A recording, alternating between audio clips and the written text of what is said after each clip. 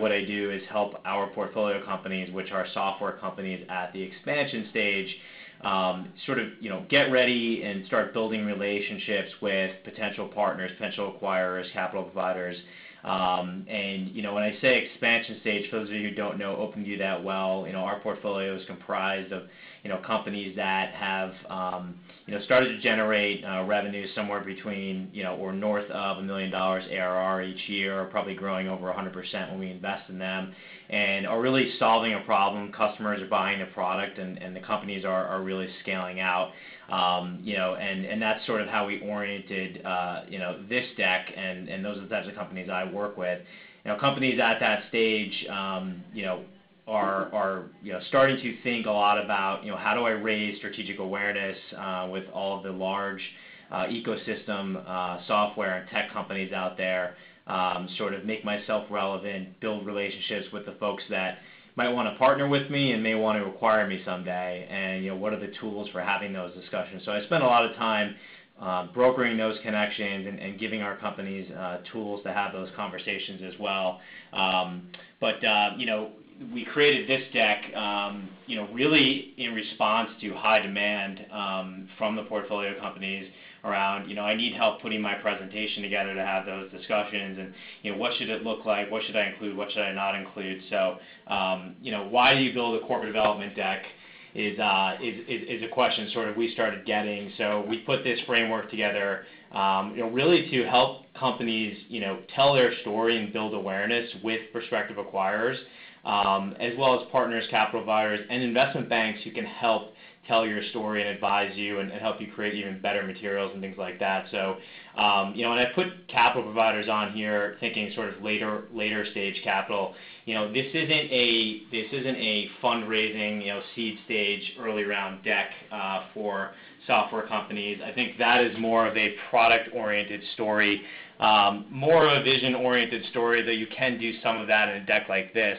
Uh, companies more at the expansion stage, uh, when we invest, are businesses that have scaled a bit, um, have, you know, more sort of metrics around the business, um, more infrastructure built out, you know, are talking about those types of things in addition to uh, their product. And you know, those are the types of things that potential acquirers, strategic acquirers, Uh, corp dev type partners are thinking about in addition to the product. So as you'll see, I'll walk you through, you know, um, what I think is a directional framework for building this type of deck to have these conversations.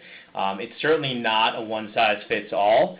You know, we've drawn on our experience to just put together what the core elements and best practices should be for this type of presentation.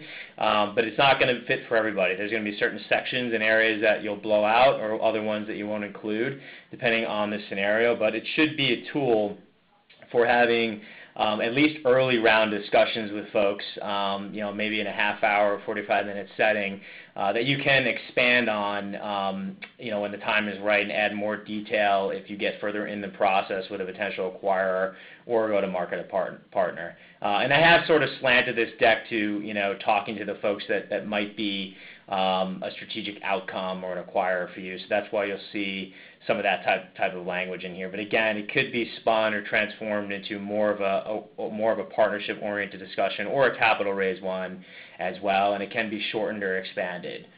Um, so you know, you think about sort of the goal of a deck like this, and there's a couple elements, a couple things that are really important. But overall, you're telling a story. Um, you know, you are trying to really describe the ugly problem that you solve, um, or that you plan to solve. Maybe you solve some of it right now, but you have a vision, and what's your progress been against that vision, and where are you headed in solving that problem? Um, you know, describing how big of a market opportunity is very important, uh, why you're different, uh, what's your secret sauce, whether that's a product feature, core IP, um, you know, operational excellence, your go-to-market model, whatever it is, you need to pull that out in a deck like this. Uh, what's your competitive barrier that you've created? You know, why are you better than the competition? Why do you win? And frankly, why do you lose as well? And what are the situations where, you know, you shouldn't be playing? Um, you know, sort of what what's your market? Why do you win in that market? Um, definitely at this stage, um, if you're talking to potential strategic partners, you know, your team is important, I think. You know, you know, co- companies and Oracle and IBM and Adobe, you know, large software players out there are looking to bring on talent.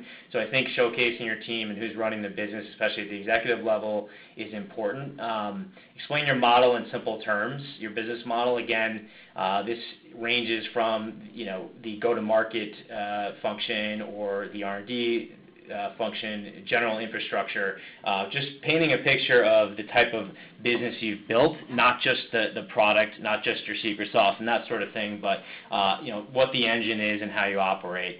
And then for more detailed, you know, in-depth, maybe under NDA discussions, you're talking about uh, you know, your financials and KPIs and that sort of thing. And definitely, you know, for very tailored discussions, you know, one-on-one discussions, you know, what specific need do you fill for the other party? Is it a product gap? Um, is it a geography? Is it a channel? Um, you need to pull that out as you get sort of further down the road in a discussion uh, with a potential strategic partner. So those are the things I think about in terms of making it a great story. And, and by the way, I'm sure we're going to get this question, but um, you know, we will send this recording out. Uh, we'll follow that up uh, with um, the deck itself once we make a, a couple just uh, sort of uh, public uh, changes to it for public use. But so I'll send this out after, but I wanted to obviously talk through it on the webinar first because um, I know I'll, I'll, be getting that question. Um, so sort of other best practices and tips for building a deck like this. Um, expect to iterate a ton. Um, you know, you know, I'll show you more of a sort of high-level timeline that I think about in building a deck, but um, you're going to probably put together 10 to 20, maybe even more versions of this before it starts to get really crisp. So use your team, um, you know, whether you're a CEO or you're a head of corporate development or business development or you're CFO, whoever is giving this presentation and creating it, um, it could be any or all of the above. You need a lot of cycles and you need, you know, support and perspective and practice uh, with you know, your team, your board, and your advisors. Um, that may be investment banks who do or don't work for you, but bouncing the story off a lot of people is important. Uh, concision is important. I try to keep it to 10 to 15 slides until you really need to expand it for more in-depth discussions. Uh, you know, avoid very technical product-heavy slides. You can always include an appendix uh, with, with super technical product and technology pieces. Um, you know, little things like including your company logo throughout the deck is important. Um, you know, be descriptive in your slide titles. Um, you know, the our head of marketing, Kyle Lacy, that's something that that he's talked about here at OpenView, and it's something that I've taken to. But um, try to try to tell a story with your slide title as much as you can. Uh, you'll see this throughout the examples that I'm going to share in a minute. Uh, and be be consistent in your design, um, whether that's you know your corporate design or one that you create. Uh, do it on every slide. Um, and certainly, you know, um, produce ch- charts and PowerPoints. Again, these are little things, but you want to make it look clean. Uh, don't drop in pictures of charts things like that. Don't use pixelated images and send PDFs uh, to preserve formatting. So when you think about you know the process of building one of these, that's as important as the actual content itself. Um, I tell the CEOs in our portfolio, you know, you need to think about this as probably a several week process. Could you put together a very good deck in a week? Probably. Uh, but it takes a lot of time. Um, the key here is I've laid out, you know, a very high-level example of a six-week process for building a deck like this. Um, you know, get started. That's the important thing. Create an outline, then get a first draft done, even if it's bad. Um, you send that to your board, send that to your team, um, bounce it off your advisors but you need to get something in front of people so that they can react. That's the only way iterations start to happen. Um, you can't create a great deck on the first draft. It's impossible. You have to get something together, um, you know, and then start iterating with people. Again, whoever that may be around you, practice it, iterate it, gather third-party feedback from investment banks. You can definitely leverage banks if you know them. They won't charge you for it, but they're very good at telling stories like this, and they can help you with this uh, even more if you did hire one of them. But it's a good resource, a good free resource, and good good perspective on these types of materials. And you know, another thing I'd say is don't bother sort of formatting and polishing like crazy until you're many cycles into this and the content is right. It's just a waste of time to do that. Make sure you're getting the message right. Um, so again, I've usually seen this take you know a month, month and a half. You can do it much less time, but everyone has a lot on their plates when they're running companies. Um, but this stuff's important. So a few hours, um, you know, an hour or two a day, um, probably for several weeks. You know, often it often takes a long to get this right. So have that expectation, and that's that's you know that that'll help you get there. Um, so in terms of the actual components of a deck like this, you know these are sort of the, the core areas that you'll see in most quote unquote corp dev or BD decks uh, used for this purpose. You know, you might use all of these, you might only use a few of them. Um, you might blow some of these areas out uh, in, and expand on them depending on what your story is. But tech, you know, usually you've got sort of a problem statement. Uh, I call it problem and vision statement up front. Usually you'll, you'll see it called a problem and solution statement. I call it problem and vision because you know you want to talk about what the problem is and it, not just how you're solving it, but how you may be solving it going forward. Um, so that sort of gets into your longer term vision, which I'll talk about more in a second. But at least a problem statement up front: who's feeling the pain and how you're solving it, or how do you plan to solve it. Um, a business highlights section, just bam, right up front, one to two pages. You know, what's sort of the um, what's the high level summary of my business? What are the things we're doing right? You can you can expand on all that in the rest of the deck. Uh, market validation, just talking about how big your market is and where you sit. The competition is important. Uh, product and technology, as I mentioned, um, you can get into that. If it's not overly technical, you can always have an appendix section. Um, you need to talk about how you acquire customers, um, what your current base of customers and partners looks like, and then expansion opportunities. You know, how if you were to remain independent, what your what are your plans for growth? Um, you know, and if you know, sort of, was it, is it channel oriented? Is it product oriented? Is it geography? Um, you can include a product roadmap in this section, but talking about how you're thinking about growing the company from this point forward. Again, the team is important as well. You could slide this section up front. Many people do. Uh, and then financials and KPIs. You know, at some point, folks around these types of conversations are going to want to know, you know, how is the business performing? Um, why has it done this in the last year? Why has it done that? Uh, just sort of talking about the efficacy of the product and how you're selling it and how you're performing. A lot of times you'll do this under NDA, but if you can share high-level KPIs without NDA, if you're comfortable doing that as well, but at some point it becomes part of the story. So, and I mentioned, you know, that last section, you may want to, you will expand in some areas depending on what your story's kernel is. Um, you know, I laid out some examples here of how you might think about expanding. Again, this is not a one-size-fits-all deck. Um, you might spend half of of the deck on one of these sections or two of these sections. Um, you know, for example, if sort of a, a you know pr- competitive product gap um, is is is sort of your advantage. You know, talk about what incumbent is doing wrong. You might expand on the competition section and your product and technology section. If it's a huge market opportunity, just sheer size, or you've got a niche in a space where no one else plays, you've got to you may need to use a couple of slides around market validation. Um, you know, if, if, if, if it's IP, again, you'd probably be talking more about the product and technology. Um, so just some examples of, you know, you, you need to think about where do I expand, what sections do I leverage the most, do I need to cut out other sections to make this shorter? Um, you know, it really depends on your specific story, but I try to just give a few examples here of, uh, of how you might connect a section with what your particular problem is. So as I mentioned, you know, your story will dictate content and flow, but I put together sort of a section by section, um, you know, guideline uh, and, and high level simple examples of how these pages and sections have looked in some of the best decks that I've seen and decks that, uh, you know, we've worked on.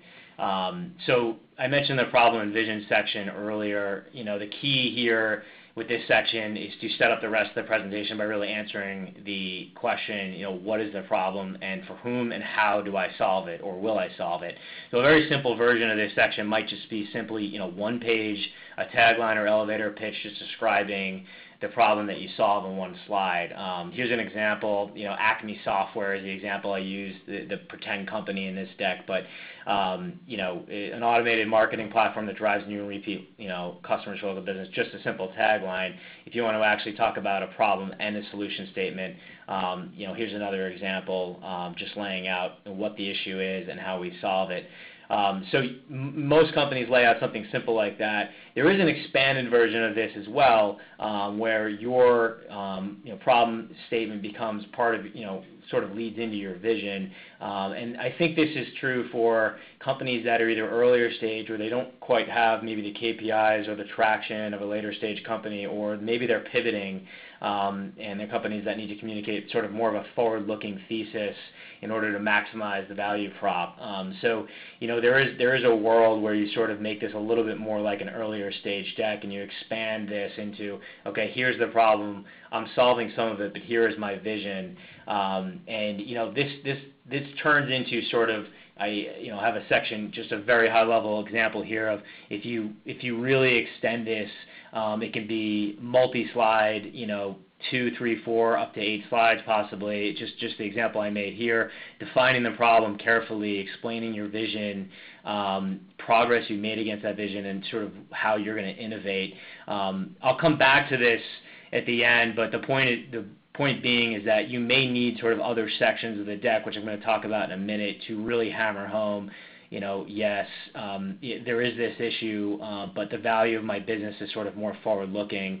Um, so I'll touch on that at the end after we talk about these next sections, but but it's an it's an important point to to think about. The business highlights section, you know, almost every deck is gonna have something like this, talking about, you know, quick hits, what does my business look like? And strategic partners, strategic acquirers are generally gonna wanna know upfront, you know, what the business is, what it's doing. Again, this is different than sort of a early seed round founder type of uh, deck, where you're talking, I think, more about the product and the story up front. Um, this is, you know, this is for slightly later stage, more scaled companies, I think, where you've got, you know, a business built, and you need to sort of make your quick hits for corp dev and BD teams out there. So give that snapshot, you know, describe the unique value proposition in one or two sentences, highlight sort of relevant metrics and facts of the business. Um, and you know, I say rather than sort of list them out, try to group them with bold summary statements and describe the most important attributes of the business.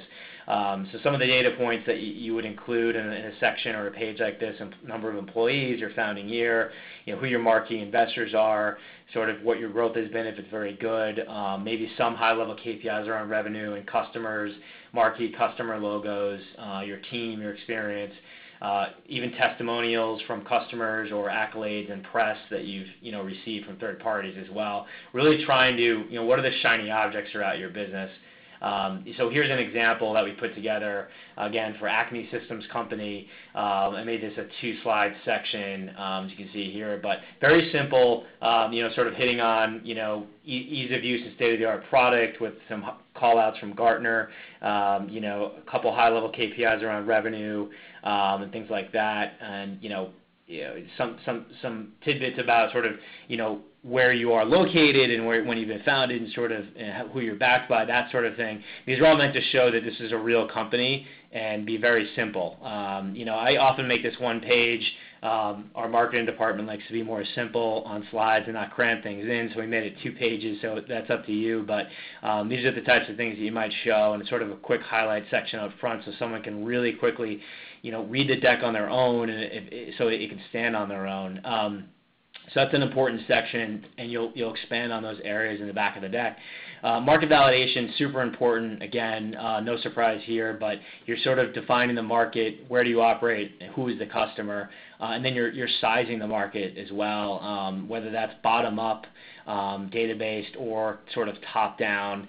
Um, you know, and you might be using third-party industry analysts, Gartner, Forrester, things like that, where you can use third-party data uh, to do this. Um, you know, it's obviously better to have that and to cite that. Uh, but if you're doing the calculations, as long as you're sort of showing your logic, that's helpful too. You wanna show things like, you know, how, you know, the size of the market, but, you know, what's the current penetration? Who's already there? What's the gap between the addressable market and sort of the served market, where folks are already playing in? Um, You know, definitely talk about your share if, if you can figure that out, and always use graphs and charts more than heavy text in a section like this. Um, so, so, so a quick example here, this is sort of a bottom-up, very simple market sizing, but not tons and tons of math, but sort of shows the logic. Uh, if you were trying to size, you know, uh, your market, companies in the U.S. with 500+ employees, there's 18,000 of them, and we think maybe some percentage, 40%, as you'll say in Acme's case, uh, can use the product. You know, 15K a company is what we average in deal size, so we get to a $1.1 billion addressable market.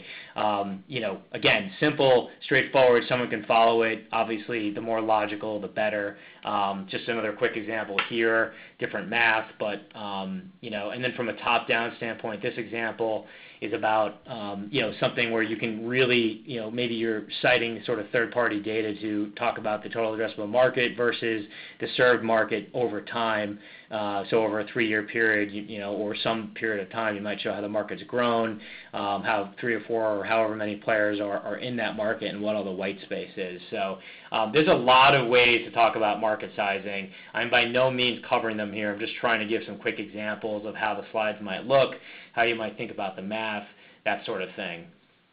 Competition, why we win and lose, um, definitely important as well.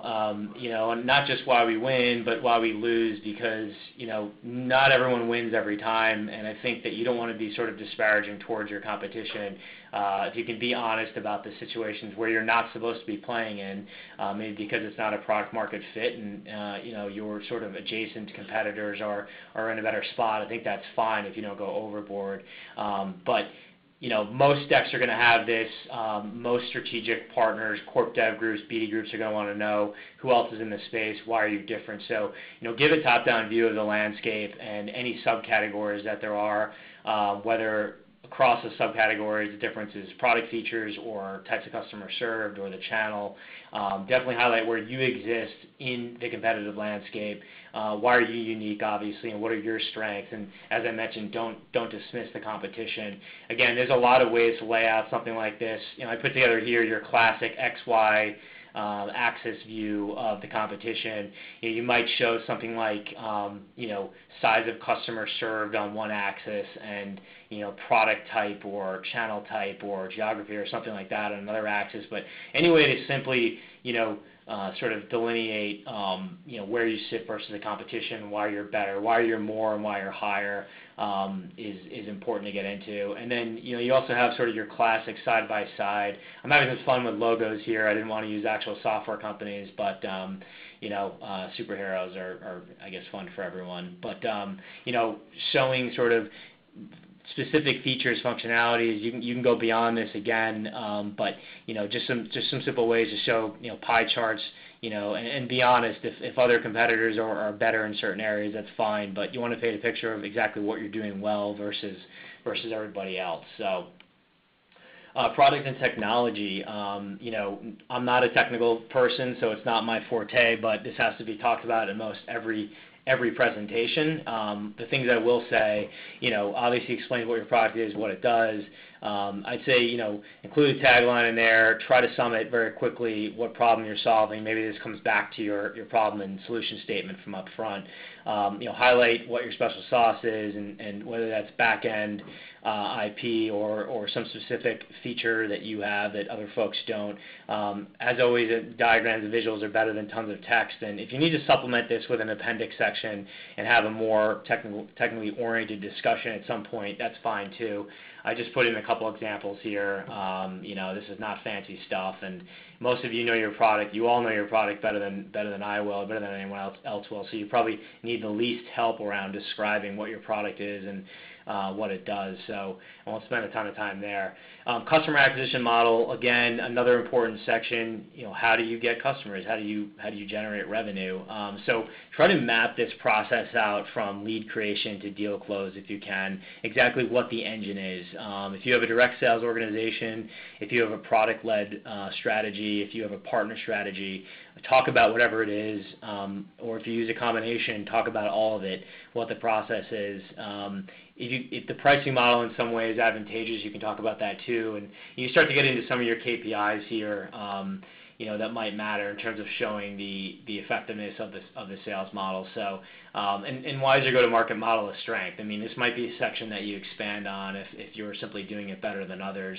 Um, you know, a lot of slides take on some sort of format like this, showing, you know, different channel breakout or international versus U.S. breakout, that sort of thing, with a couple, you know, different um, different metrics included. You might show marquee channel partner logos, that sort of thing, um, or a process-oriented slide, exactly how you go about um, generating leads, how those become real, uh, you know, sales qualified leads and opportunities, how you close those opportunities, and along the way, who the players are in your organization. You know, definitely important part of the deck. And, and even managing the customers around customer success and and retaining as well. So, um, you know, uh, make make this part of the almost every deck because I've sat on the side of the corp development person asking the questions about companies that I was thinking of buying, and I always wanted to know exactly how many reps were carrying suitcases and traveling, or how many people were calling from inside sales. You know, how how how is your how did your model built and, and, and how do you make money really? So it's an important part of the process. Customers and partners, this is more about who your current base is. Um, you know, validate sort of your traction. Um, you know, what's what's the concentration? Who are the marquee logos? That sort of thing. How many customers? Um, describe the typical buyer if you can. And you know, use use graphs and visuals, things like that to really lay this stuff out. You know, break it out however is interesting to the audience. And uh, you know, things like recent wins and large deals, Uh, things like that are important. And if you have good quotes and testimonials, you can do that here, or you can have a separate section in the appendix around case studies as well. Uh, but you have to give the audience sort of just a glance at uh, at who's buying your product as of today. So, you know, a slide might look something like this, where you've got a breakout of, you know, again, U.S. international or direct versus indirect or different industry verticals that are represented. You might also do customer concentration as well if you wanna show a lack of customer concentration and how customer count's grown over time. And then again, marquee logos is always nice to see. And some sort of description of, you know, typically who you serve, what end of the market or what portion of the market that you play in, uh, is super important. Um, expansion opportunities. So, you know, I think of this as a section, you know, where, we, where, you know, as of today, where where we want to invest more dollars or we see the opportunities. It's it's sort of irrespective of Uh, who the audience might be. I think it's you're thinking about growth. This this is why you might want to acquire us or partner with us. These are the things that we can do on our own. I think the things that we could do with you, Mr. or Mrs. Potential Strategic Acquirer, is slightly a different discussion, uh, which is probably an addendum to this deck. But you need to talk about what you're excited about. Um, it could be new channels, geography, it could be technology partnerships, things like that. Um, You know, there's a lot of places you can go. It could be acquiring, it could be, you know, certain investments you're making. But, you know, I usually talk about hitting this in the end of the deck if you sort of haven't highlighted it enough already, and you might lay it out something like this. You know, very simple. Here are the areas we're excited about. Um, you know, we're moving further into the enterprise from SMB. We're expanding into uh, Europe and Asia geographically. You know, maybe it's a product build-out. We're adding features that other folks don't have. Um, you know, new channels could be part of it. Uh, maybe it's M&A. So there's no shortage of stuff here, but I think it's important to hit this if you sort of, you know, haven't talked about it as part of your vision yet. And then team is very important as well. I mentioned this, but, you know, not just sort of who folks are, but, you know, uh, titles, bios, you know, where they've worked. Um, this is a big element and, you know, it's a big part of the value of a company. Um, you know, note prior companies worked for, maybe show logos of sort of marquee companies that your team has worked for in the past and things they've done and, you know, focus on track record. And uh, I always like to say use headshots because it sort of humanizes the story in the deck. Um, you know, I'm playing around here with some some some uh, some dead presidents, but, um, you know, I've seen some pages laid out nicely like this, where you're talking about not only what the title is, but sort of the things they do today and the things they've done in the past. Um, maybe talking about some of the big companies that folks have worked for. Uh, you're just trying to show what the track record is and and get folks excited about who they might be bringing on board. I made it a two-slide section, but often it's just a one-slide section. Financials and KPIs is usually sort of towards the back. Again, this might be an under NDA part of the deck, depending on on what the nature is. But at some point, you wanna be discussing how the business is performing. Um, you know, at a minimum, it should include, you know, KPIs around revenue, margins, and growth, I think. You might, you know, in a deeper dive, include, you know, a projection, a P&L projection. Uh, but talk about, you know, major growth drivers behind anything that you're showing and, you know, sort of be ready to have commentary to explain uh, why the company is performing the way it is.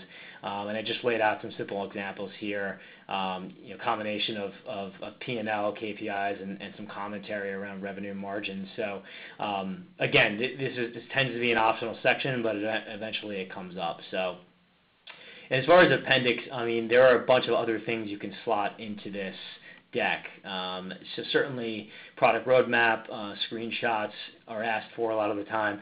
I often see company timelines, you know, sort of how we came to be. These are the these are the big milestones, you know, a detailed view of the headcount in the org, and then case studies Um, can be pretty powerful as well. And I included some examples I'll run through here. Just, you know, here's a quick shot at a roadmap that you might include. Um, you know, product screenshots, um, folks ask for those a lot as well. You might have a company history, like I mentioned. You know, when did we raise rounds, operational milestones, product milestones, uh, when were we founded, that sort of thing. Uh, You know, you can just shoot to this in the beginning of the deck if if someone sort of asks you you know, the history of the company.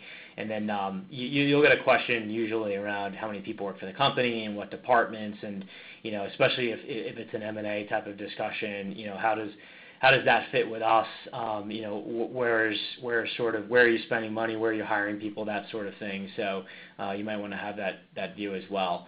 Um, and then customer case studies are are important. You might include this. Many times this is part of the the the core section of the deck, but um, you know, quotes, things like that, um, you know, a quick snapshot of a problem you solved, uh, specifically how you did it. It's sort of, uh, it's not so abstract as other parts of the deck. So um, just a quick side-by-side here of two possible uh, ways to do it. So that's the end of our deck. I tried to get through 60 slides in a reasonable amount of time. Um, you know, one thing I do just wanna go back to quickly that I touched on um, is in the problem and, you know, sort of the problem and solution statement up front. I talk a bit about expanding that into your vision. Um, you know, what I'm talking about is companies that a little bit earlier stage or maybe that are pivoting, where you don't have sort of as as many concrete KPIs and and infrastructure type of things to talk about. If it's really um, if it's really a forward-looking story, I think there are scenarios where you spend many slides talking about the problem. If you if it's a technical problem and a technical user, and it's a hard problem to understand, you may really have to spend more of the deck talking about, you know, the specific problems people are having, the questions they're asking, um, you know, testimonials, data stories that sort of um, articulate what those issues are, and then move into, you know, paint a picture of, you know, how would it look like if someone solved these problems, um, ways in which people are not solving these problems, what is the market opportunity for solving the problem, and then the progress you've made against that, uh, your product today, what you can do, what you've done so far, uh, sort of, and why your business is moving in the right direction because of it operationally. And then you get into sort of these are the things that we're building, we're adding, what we might need capital for or we wanna be acquired for and do as part of a larger organization. This is the roadmap. So um, you know, it's it's again, it could be called a problem and solution section. I call it a problem and vision section because you're spending maybe more time telling the forward-looking story and incorporating other parts of the deck. Um, but uh, you know, most of these decks really have a quick, you know, one one or two slides talking about the problem, um, you know, the simple version here on the left. Um, but uh, you know, there's there's certainly different ways to slice it. That's that's the deck. As uh, as I mentioned at the beginning, I've got some questions here about whether we will, um, you'll be sending it out. We're gonna send this recording out, I think, in the next 24 hours to everyone on this who's who's uh, on the call today. And then I'll send the deck itself out. I just need to make some changes to it, put some disclosures and things like that on it. We'll send that out probably in the next week or two uh, to the same group. I think we'll also publish that on our website as well. I'm just gonna ask Casey to help me to see if I have any uh, questions here. Uh, most of the questions look like around can we send this deck out? So I'll do that. As I mentioned, I answered that. Um, and I think that does it. So thanks for joining, everyone. Yeah. Um, everyone, thank you for joining. Like I mentioned, if questions come up after you receive the recording or the deck, please feel free to uh, email me. You have my email from our correspondence. Um, in the meantime, John, thank you so much for having us. Again, I apologize to everybody for the technical difficulties at the beginning, though I'm sure a lot of you have put on webinars, and sometimes it would not be a webinar without one of those. So that all being said, thank you so much for attending, and we look forward to seeing you again soon. Bye.